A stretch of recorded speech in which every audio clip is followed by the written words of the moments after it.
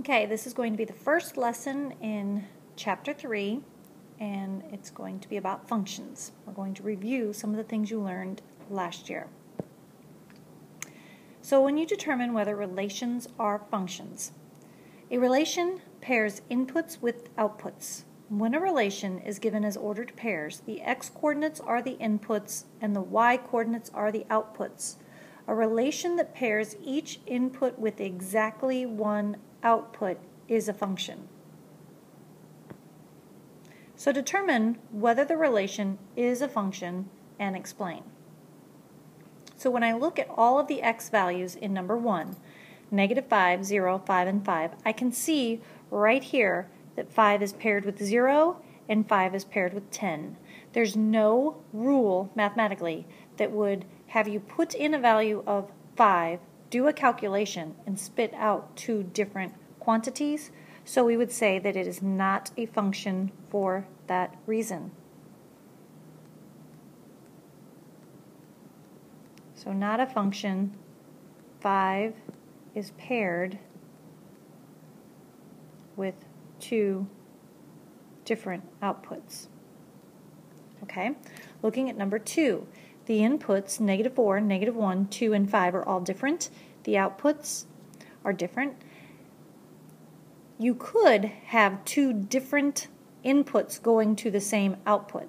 That would still be a function, even though that doesn't apply to this case. Each input is paired with distinctly different outputs. So, this is a function.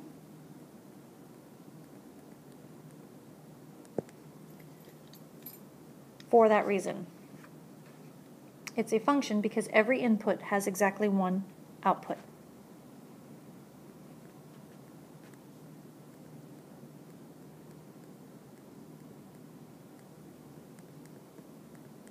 Okay, looking at our input x for 3 and our output y. They, it is a function because every input has exactly one output.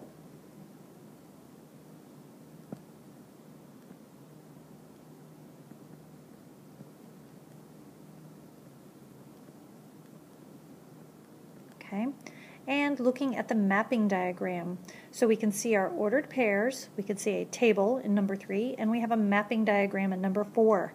And the mapping diagram pairs the input with the output. And notice that the 1 half for x is going to three different values for y, so it is not a function.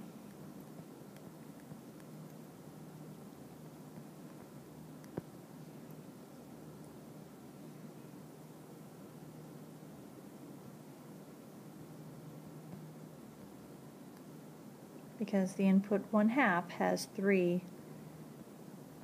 outputs.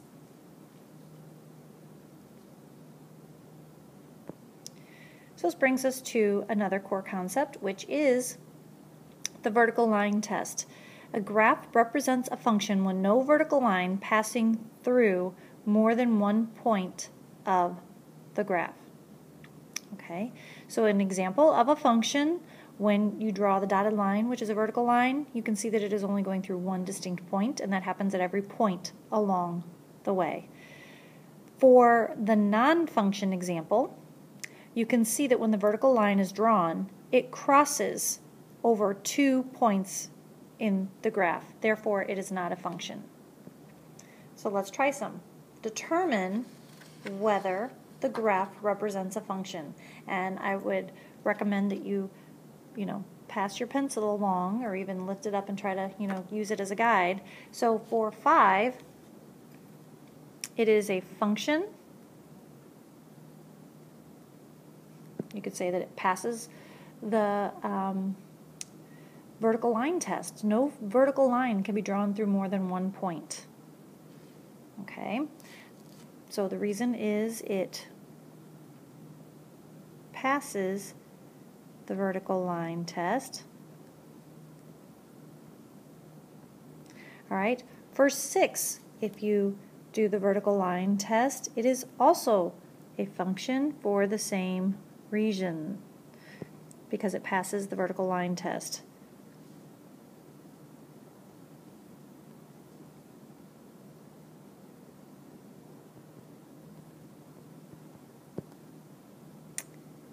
4, 7, when you do the vertical line test, it fails.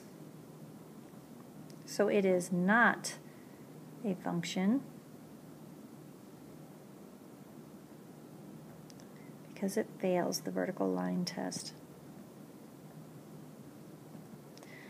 And 8, when you do the vertical line test, you see that it is a function because it passes vertical line test.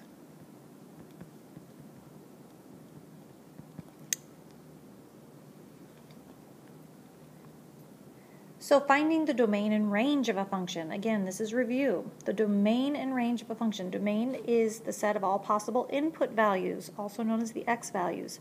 The range of a function is the set of all possible output values. Those are the y values. So you can see this little illustration of a function machine.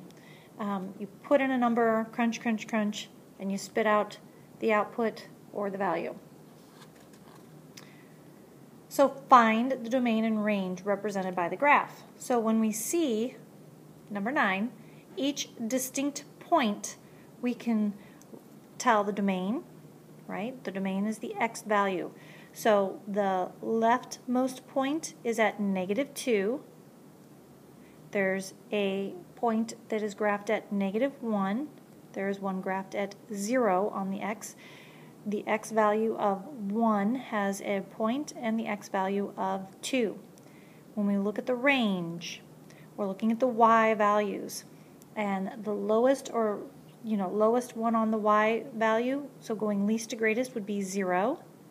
There are two things graphed at 2, and there are two things graphed at 4. So the range is from 0 to 4. Looking at 10, this one's going to be difficult because you can see that it is a continuous line and curve. It is a function because it passes the vertical line test, but it's almost like there's a range of values that are true. And so we can use what we learned about those compound inequalities to describe our domain. So our domain, because it's a closed dot at 1, are all the values that are less than and equal to x, right?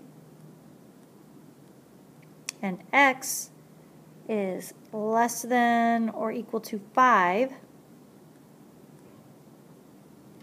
because it goes from 1 to 5, kind of a continual thing for the x numbers. So now look at the y values, right? From 0 to 4 for y, and again because of the closed dot we have 0 is less than or equal to the y values, which is less than or equal to 4. So now we have a reason to use our compound inequalities to describe everything included in that function or represented by the domain and range. You may recall from last year that we identified independent and dependent variables. The variable that represents the input value of a function is independent because it can be any value in the domain. The variable that represents the output value of a function is dependent because it depends on the value of the independent variable, or x. When an equation represents a function, the dependent variable is defined in terms of the independent variable. So the, the statement y is a function of x means that y vary depending on the value of x. So look at our slope-intercept form. y is equal to negative x plus 10. They're pointing to the dependent variable or y. So let's just kind of summarize here all the different values that we have for each of these. Like um, if we're talking about our x value, right? We also know it to be our input. We know it to be our domain. And it is an independent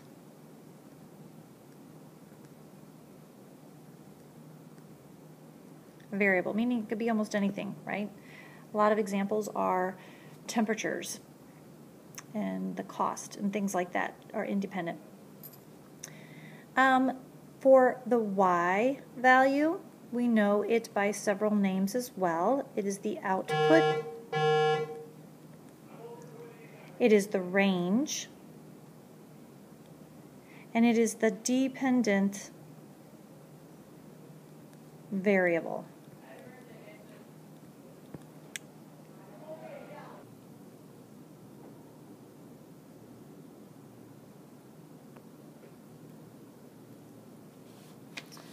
So in our final example for today, we are asked, we're given a function, and it represents the number A of avocados you have left after making B batches of guacamole, and you need to identify the independent and dependent variables.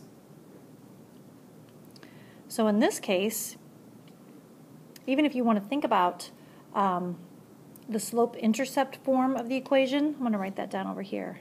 So y is equal to mx plus b. You can kind of look at the location of where the y value is and where the x value is. So the independent variable is the x variable, so that would be the b or um, batches of guacamole. So independent would be batches. Well, I'm just going to write b.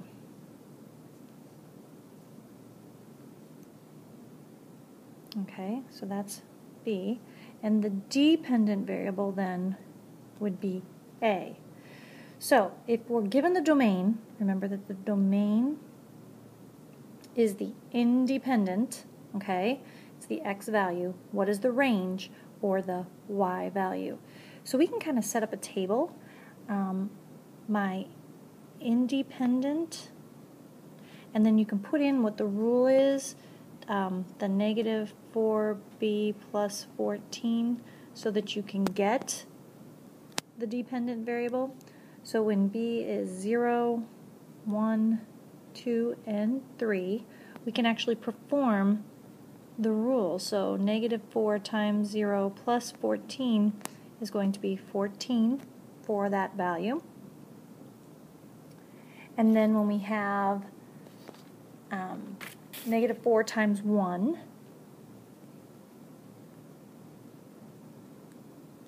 We'll have an output of 10. Negative 4 times 2 would be 6. And negative 4 times 3 would be 2. So our range would then be listed in least to greatest order. Um, doesn't really matter. 14, 10, this is greatest to least actually, 6, and 2. So let's look at 12. For example, 4. The function is given T is equal to 19m plus 65, and it represents the temperature T in degrees Fahrenheit of an oven after preheating for m minutes. So we want the independent which in this case would be the minutes. Remember, I told you that sometimes it's units of time, so M or minutes. The dependent would be T or temperature. If the recipe calls for an oven temperature of 350 degrees, describe the domain and range of the function. So if our T is now 350, substituting it into the equation, and solving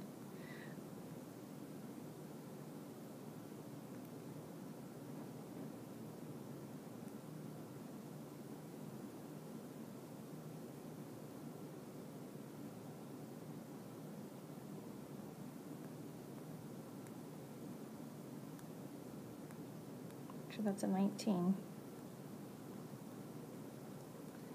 We get um, that the number of minutes it would take would be 15 minutes for it to reach 350. So it's a continual graph, though. It's not discrete points. So we're talking about preheating an oven. So our domain in this case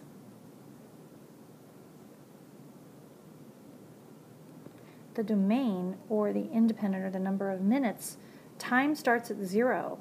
So zero would be less than or equal to m, which is less than or equal to 15. And our range, now we're going to be talking about the temperature. Notice that right here represents this value 65 will be less than or equal to the temperature, which is less than or equal to 350 degrees. So that three that 65 is is you know about room temperature. So that's why that's temperature is starting at about that temperature and then getting up to or climbing to 350. And so we have to show that it's a range or a continual thing. So the graph is one of those continual lines instead of discrete points on a graph.